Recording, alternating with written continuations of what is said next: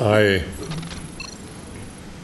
have met people who claimed to be Satanists, who claimed to be involved with black magic, who claimed that they not only knew a lot about it, but as I said, I've certainly never been involved, and I warn all of you never, never, never. You will not only lose your mind, you lose your soul.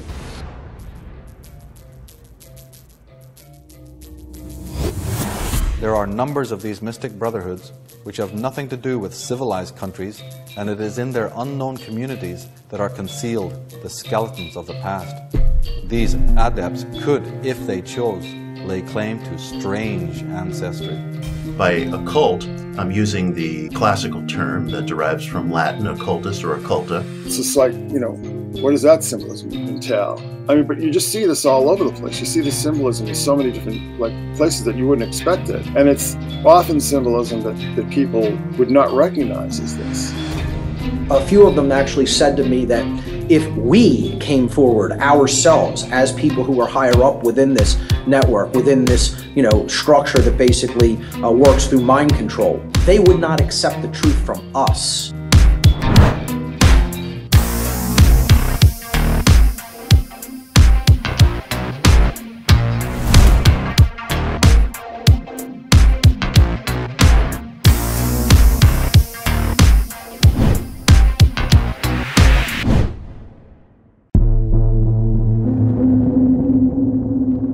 All cities of the ancient world were temples for public worship and offering. In every community also were philosophers and mystics, deeply versed in nature's lore. These individuals were usually banded together, forming seclusive, philosophic and religious schools.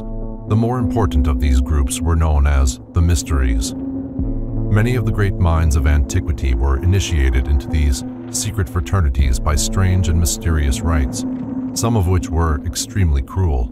Many of these ancient cults vanished from the earth without revealing their secrets, but a few have survived the test of the ages, and their mysterious symbols are still preserved. And I think Freemasonry has been an extremely valuable vessel, in some regards, one of our only long-standing vessels that connects us to the idea of ancient ethics and the spiritual search as it was felt in past civilizations in our deep past, including Babylon, Egypt, Rome, Greece, Alexandria. Well, I mean, when, when you use a term like the elites, I mean, that's, you know, which elites? You know, sure. There are a lot of different factions and stuff. Masonry has done so much to preserve the symbols, the rites, the rituals, and the idea of internal development. George Washington is seen here standing in the Masonic Hall with a Masonic G above his head, and he's wearing the Masonic apron. So George Washington and many other elites and uh, presidents and so forth are members of these secret fraternities. Everyone knows about the Lincoln Memorial, but travelers and tourists are not as aware that round the corner from that is a very strange, to say the least, image of uh, George Washington, one of the founding fathers. He's seen here naked to the waist, uh, his arms in this uh, mysterious pose. Of course, it's mysterious to tourists. It's not mysterious to members of secret societies because they would recognize this pose. It is an occult symbol. Here is the god worshipped by the Knights Templars, Baphomet. We belong to some greater sense of possibilities and infinitude, which the ancient Greeks used to refer to at times as a nous or a greater higher mind, which they saw as the creative agency of all that is, and of which we are parts almost as capillaries. And within our framework, we can, in our own way, create as this greater mind creates, as above, so below, went the Hermetic dictum. In occultism, Baphomet is often depicted as a goat-headed deity with both male and female attributes, and with one hand pointing up and the other pointing down. This symbolizes the idea that the divine exists both above and below, and that there is a connection between the spiritual and material worlds. John F. Kennedy wrote on April 27, 1961, or he openly spoke these words, he said the very word secrecy is repugnant in a free and open society. And we are, as a people, inherently and historically opposed to secret societies, to secret oaths, and to secret proceedings. And then later he said the high office of president has been used to foment a plot to destroy the Americans' freedom. And before I leave office, I must inform the citizen of his plight.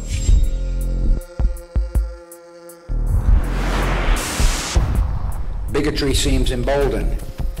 Our politics seems more vulnerable to conspiracy theories and outright fabrication.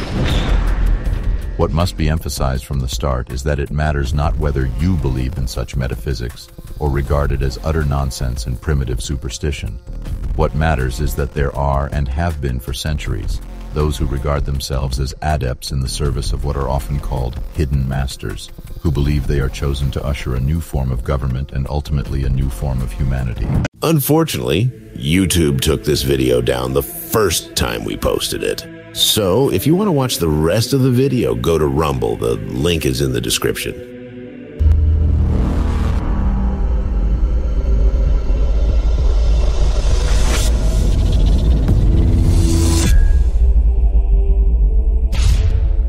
The Second Renaissance